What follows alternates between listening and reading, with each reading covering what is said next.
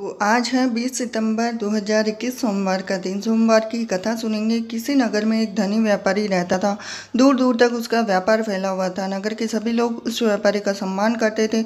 इतना सब कुछ होने के बाद भी, भी व्यापारी बहुत ही दुखी था क्योंकि उसका कोई पुत्र नहीं था जिस कारण अपनी मृत्यु के पश्चात व्यापार के उत्तराधिकार की चिंता उसे हमेशा सताती रहती थी।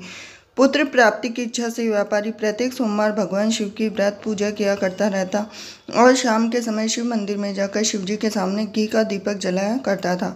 उसकी भक्ति देखकर माँ पार्वती प्रसन्न हो गई और भगवान शिव ने उस व्यापारी की मनोकामना पूर्ण करने का निवेदन किया। भगवान शिव बोले, इस संसार में सबको अपने कर्म के अनुसार फल की प्राप्ति मिलती है। शिवजी द्वारा समझाने के बावजूद माँ पार्वती नहीं मानी और उस व्यापारी की मनोकामना पूर्ति हेतु वे शिवजी से बार बार अनुरोध करती रही। अंततः माता के आग्रह को देखकर भगवान भोलेनाथ को उस व्यापारी को पुत्र प्राप्ति का वरदान देना पड़ा। वरदान देने के पश्चात भोलेनाथ माँ पार्वती से बोले कि आपके आग्रह पर मैंने पुत्र प्राप्ति वरदान दे तो दिया? परंतु इस इसका यह पुत्र सोलह वर्ष से अधिक समय तक जीवित नहीं रहेगा। उसी रात भगवान शिव उस व्यापारी के स्वप्न में आए और उसे पुत्र प्राप्ति का वरदान दिया। और उसके पुत्र के सोलह वर्ष से जीवित रहने की भी बात बताई। भगवान के वरदान से व्यापारी को खुशी तो हुई, लेकिन पुत्र की अल्पायु की चिंता ने उस खुशी को नष्ट कर दिया। व्यापारी पहले की तरह सोमवार के दिन भगवान शिव का विधिवत व्रत करता रहा कुछ महीनों के बाद उस घर एक अति सुंदर बालक ने जन्म लिया और घर में खुशियाँ ही खुशियाँ भर गई। बहुत धूमधाम से पुत्र जन्म का समारोह मनाया गया, परंतु व्यापारी को पुत्र जन्म की अधिक खुशी नहीं, क्योंकि उसे पुत्र के अल्प आयु के रहस्य का पता था। अब उसने अपने बेटे को मामा के साथ पढ़ने के लिए वाराणसी भेज दिया।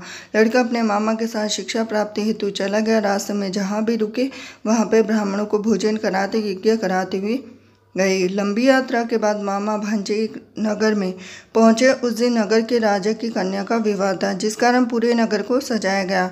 अब बारात आ गई, लेकिन वर का पिता अपने बेटे के एक आँख से काने होने के बाद से चिंतित था।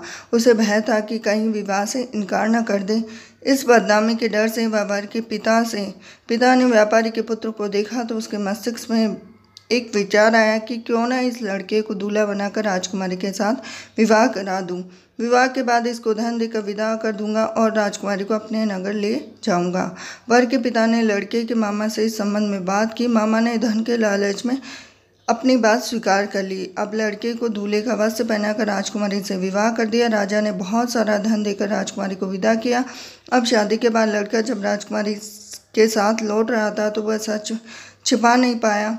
और उसने राजकुमारी के ओढ़ने पर लिख दिया कि, राजकुमारी, तुम्हारा विवाह मेरे साथ हुआ था। मैं तो वाराणसी पढ़ने के लिए जा रहा हूँ। अब तुम्हें जिस नवयुवक की पत्नी बनना पड़ेगा, वह एक आँख से काना है। जब राजकुमार ने अपनी ओढ़नी पर लिखा हुआ पढ़ा तो उसने अपने काने लड़के के साथ जाने से इनकार कर दिया।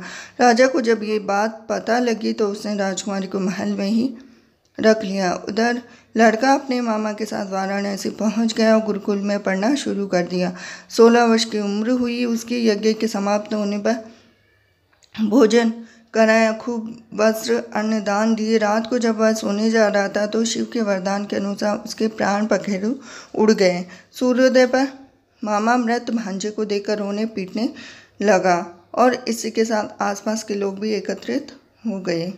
जब आसपास के लोग एकत्रित हो गए तो दुख प्रकट करने लगे। लड़के के मामा के रोने के, विलाप करने के स्वर के समीप से गुजरते हुए भगवान शिव और माता पार्वती जी ने सुने तो माता पार्वती ने भगवान से कहा कि, प्राणनाथ, मुझे इसके रोने के स्वर सहन नहीं हो रहे। आप इस व्यक्ति के कष्ट को अवश्य दूर करिए।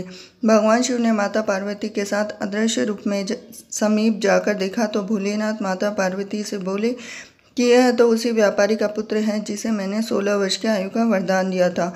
इसकी आयु पूरी हो गई है। अब माँ पार्वती ने फिर भगवान शिव से निवेदन किया कि उस बालक को जीवन देने का आग्रह किया।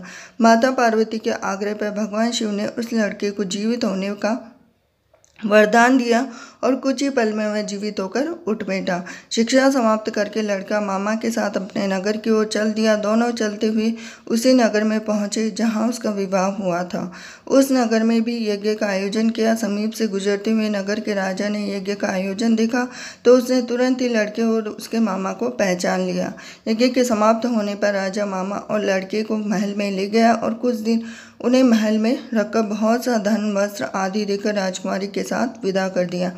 अब इधर भूखे प्यासे रहकर व्यापारी और उसकी पत्नी बेटे की प्रतीक्षा कर रहे थे। उन्होंने प्रतीक्षा कर रखी थी कि यदि उन्हें अपने बेटे की मृत्यु का समाचार मिला तो दोनों अपने प्राण त्याग देंगे। परंतु जैसे ही उसने बेटे के जीवित वापस लौटने का समाचार सुना तो वह बहुत ही प्रसन्न हुआ। वह अपनी पत्नी और मित्रों के साथ नगर के द्वार पर पहुँचा। अपने बेटे के विवाह का समाचार सुनकर पुत्र वधु राजकुमारी को उसकी खुशी का ठिकाना न रहा। उसी रात भगवान शिव ने व्यापारी के स्वप्न में आकर कहा कि, हे श्रेष्ठ, मैंने तेरे सोमवार की व्रत करने और व्रत कथा सुनने से प्रसन्न होकर तेरे पुत्र को लंबी आयु प्रदान की है। पुत्र की लंबी आयु जानकर व्यापारी बहुत प्रसन्न हुआ और शिव भक्त होने तथा सोमवार का व्रत करने के कारण व्यापारी की सभी मनोकामनाएँ पूर्ण हुई।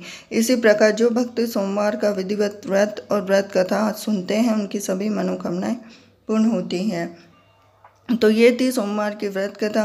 वीडियो पसंद आया तो वीडियो को लाइक कीजिए, चैनल को सब्सक्राइब कीजिए, बेल आइकन बटन दबा दीजिए। तो मिलती हूँ नेक्स्ट वीडियो में। Hare Krishna. Thanks for watching